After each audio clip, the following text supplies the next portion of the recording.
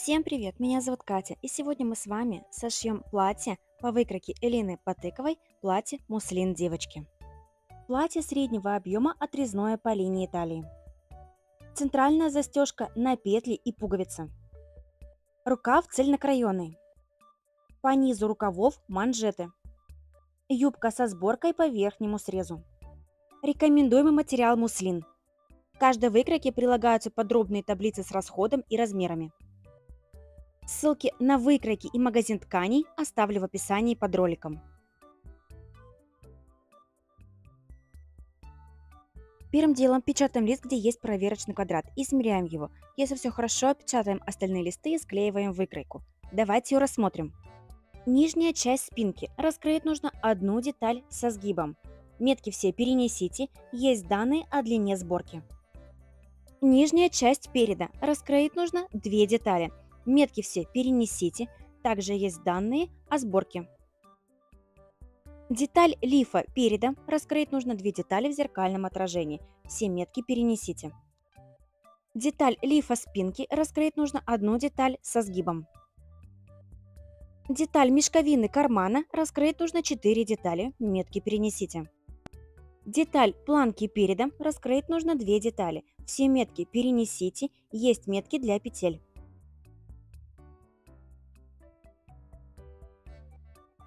Деталь манжеты рукава раскроить нужно две детали. Метки все перенесите. Деталь обтачки спинки раскроить нужно одну деталь. Метки перенесите. Деталь обтачки горловины передом раскроить нужно две детали в зеркальном отражении, все метки нужно перенести. Обтачки горловины передом, обтачку горловины спинки и планки переда нужно кроить грубым кроем и все детали проклеить дублерином. Для работы нам понадобятся иглы универсальные, нитки в цвет, кандибанд или долевик, дублерин, 7 пуговиц диаметром 12-15 мм, мои чуть меньше.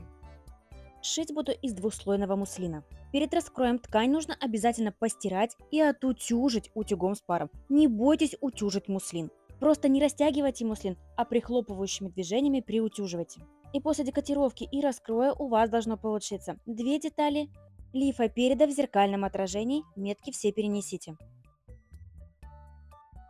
Деталь лифа спинки со сгибом. Две детали нижней части переда, метки перенесите. Деталь нижней части спинки со сгибом, метки перенесите. Две детали манжеты рукава. Четыре детали кармана, метки перенесите. Две детали обтачки горловины передом. Раскроить нужно грубым кроем. То есть к припуску бумажной выкройки мы прибавляем по 1 сантиметру.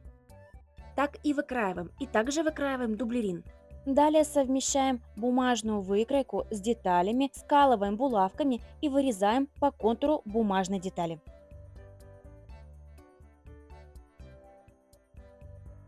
Не забудьте перенести все метки. Так у вас должны получиться две детали обтачки горловины переда в зеркальном отражении с перенесенными метками. Таким же способом мы кроим и детали планки переда. Кроим грубым кроем, проклеиваем дублерином и вырезаем точно по лекалу. Также из деталей обтачки горловины спинки. Место входа в карман у всех деталей юбки нужно проклеить полоской кандибанда, либо тонкой полоской дублерина. Также кандибандом мы проклеиваем и плечевые срезы спинки. Совмещаем детали спинки и переда лифа лицом к лицу. Стыкуем плечевые срезы, скалите булавками и стачайте на швейной машине на расстоянии 1 см от края. Далее эти срезы обработайте на оверлоке. На оверлоке все изделие я буду обрабатывать трехниточным швом.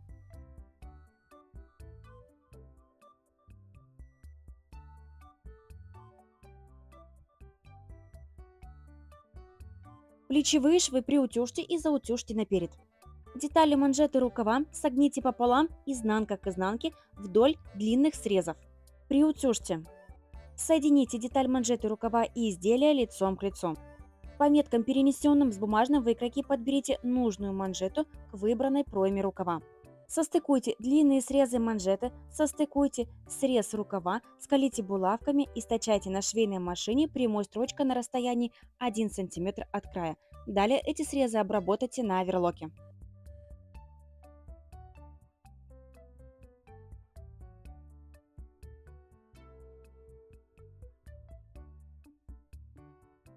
Припуски заутюжьте на спинку и перед и отстрочите на швейной машине на расстоянии 1-2 мм от края.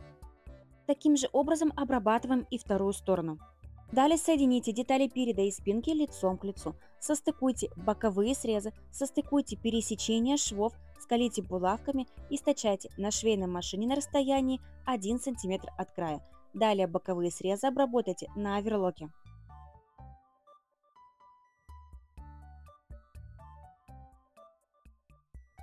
Припуск бокового шва манжеты заутюжьте на сторону переда и застрочите прямой строчкой на расстоянии 5 мм от края. Детали лифа подготовили. Теперь переходим к нижним деталям платья. Одну из деталей мешковины кармана соедините с деталью нижней части переда лицом к лицу. Состыкуйте боковые срезы, состыкуйте метки, скалите булавками. Стачайте эти детали прямой строчкой на расстоянии 9 мм от края. То же самое сделайте и с противоположной частью переда и с деталями нижней части спинки. Далее все боковые срезы обработайте на оверлоке.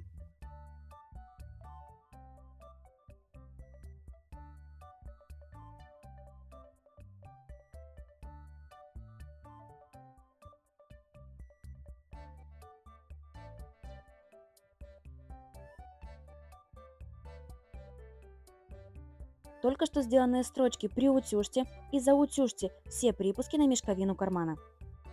Соедините нижние части переда и спинки лицом к лицу. Состыкуйте боковые срезы, состыкуйте все метки, состыкуйте срезы кармана, скалите булавками.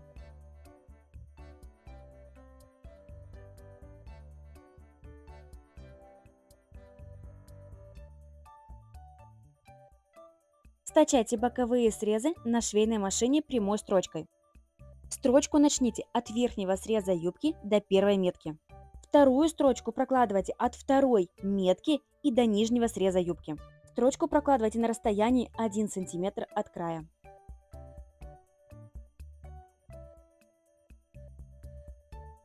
Далее скалите булавками детали мешковины кармана. Стачайте срезы кармана прямой строчкой на расстоянии 1 см от края. Далее эти срезы обработайте на оверлоке. В процессе стачивания боковые припуски деталей юбки отогните на сторону юбки.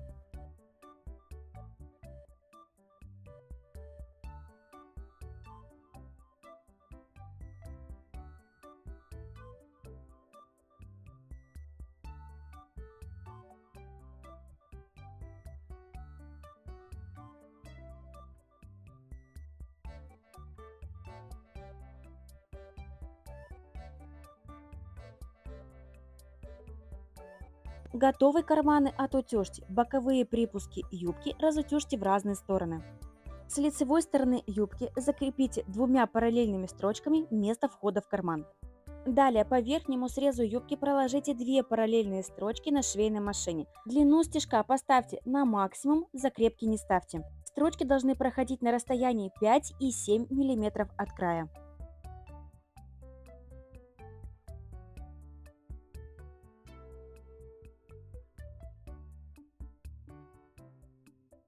Далее соедините детали верха и низа лицом к лицу. Состыкуйте боковые швы, скалите булавками.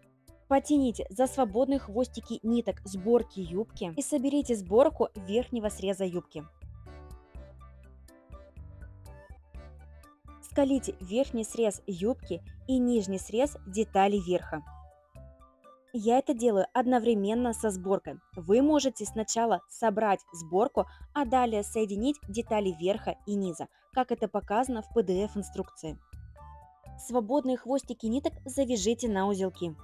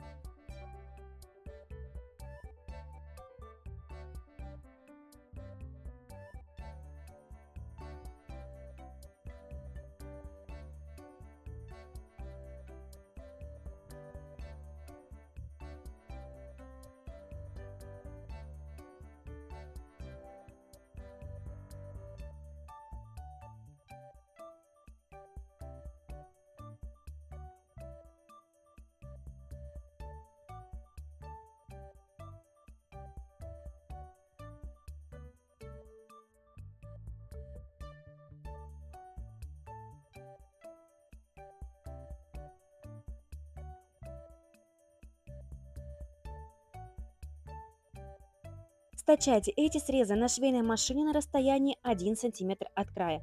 Далее эти срезы обработайте на оверлоке.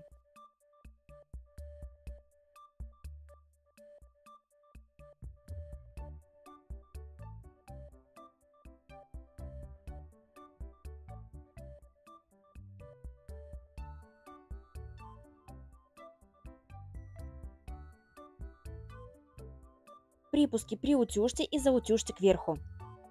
Обметайте низ изделия на оверлоке.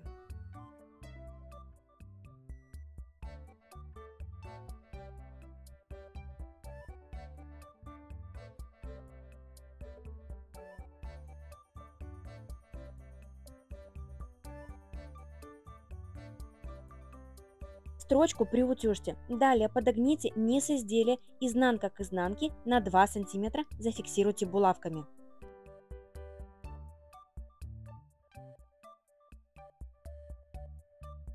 Подогнутый низ приутюжьте, далее отстрочите его прямой строчкой на швейной машине на расстоянии 1,5 см от края.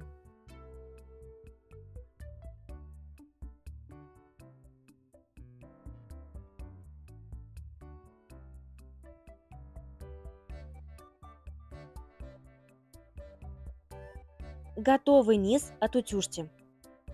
Переходим к обтачкам горловины, спинки и переда. Плечевые срезы обтачек обработайте на оверлоке. Приутюжьте эти строчки, далее соедините обтачки спинки и передом лицом к лицу. Состыкуйте плечевые срезы, скалите булавками и стачайте на швейной машине на расстоянии 1 см от края.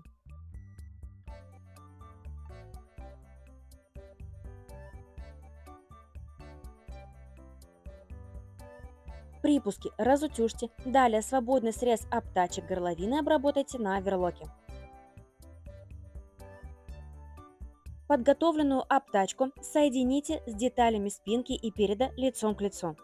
Состыкуйте срезы горловины изделий и срез горловины обтачек, состыкуйте плечевые швы, скалите булавками. Центральные срезы обтачек и изделия должны быть на одной линии.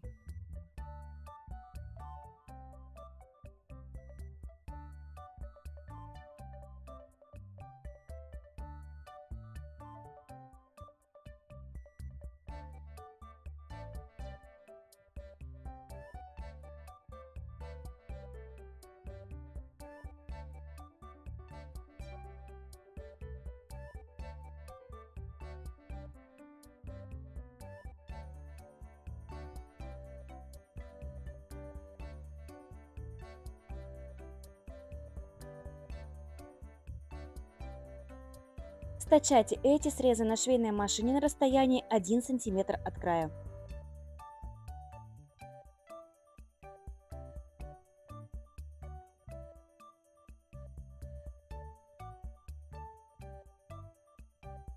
Припуски горловины надсеките каждые 1,5 см, не доходя 1 мм до строчки стачивания.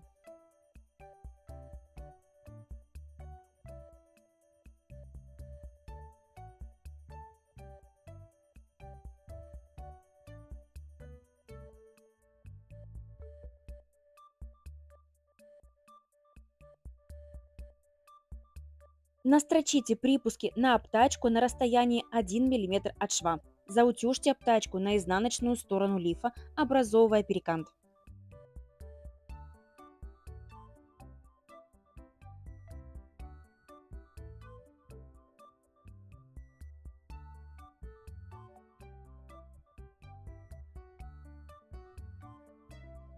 Зафиксируйте обтачку по плечевым швам изделия. Также зафиксируйте обтачку горловины вдоль центральных срезов. Плечевые швы зафиксируйте на швейной машине. Строчку прокладывайте с лицевой стороны изделия, точно попадая в строчку стачивания плечевых швов. А центральные срезы зафиксируйте прямой строчкой на расстоянии 5 мм от края.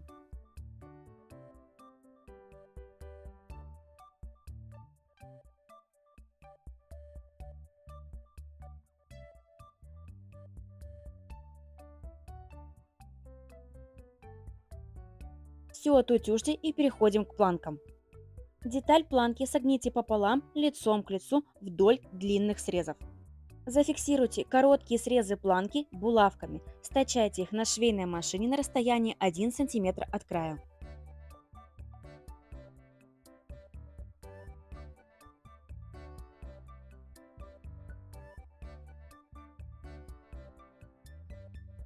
Уголки планки надсеките. Выверните планку на лицевую сторону, отутюжьте. Хорошо расправьте уголки.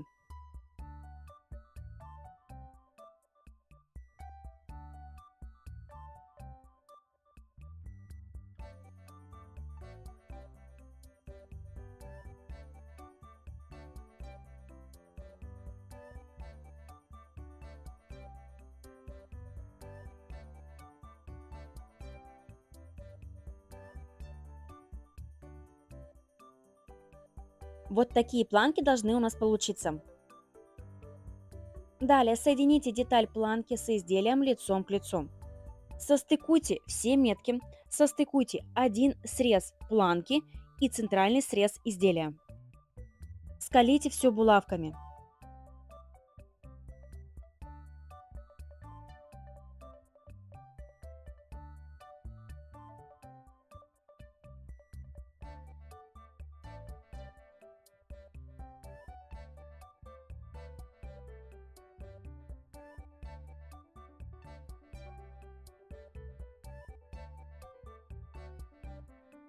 Стачайте эти срезы на швейной машине на расстоянии 1 см от края.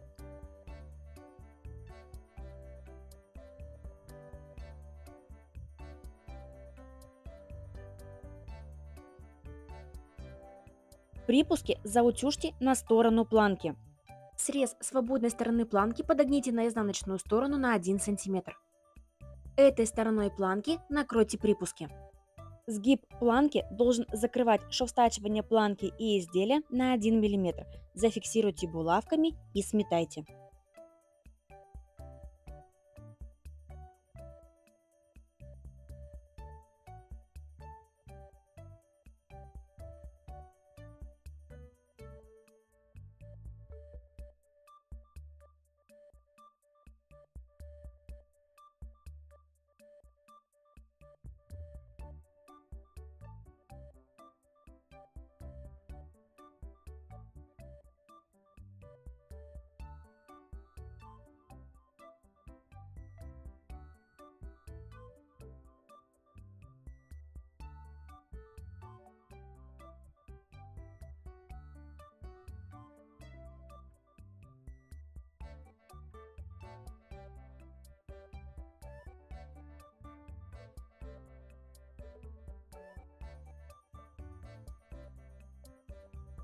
Также подготовьте и вторую сторону. Далее сметайте.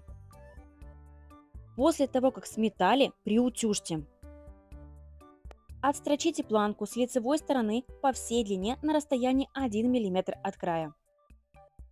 Обязательно проверьте, что с изнаночной стороны планка тоже равномерно отстрочена. Уберите сметку и все хорошо отутюжьте. Далее с бумажной выкройки на правую сторону платья переносим местонахождение петель, а на левую сторону переносим местонахождение пуговиц. Метку для пуговиц я размечала, разделив петлю пополам. С помощью лапки для петель сделайте петли и сделайте в них отверстия. Пуговицы можете пришить вручную, а можете с помощью специальной лапки. Еще раз отутюжьте платье и оно готово. Это прекрасное платье для ваших девочек на летний сезон. Ставьте хэштег «Потыково платье муслин», отмечайте нас в ваших соцсетях. Всем спасибо за просмотр и всем красивых платьев!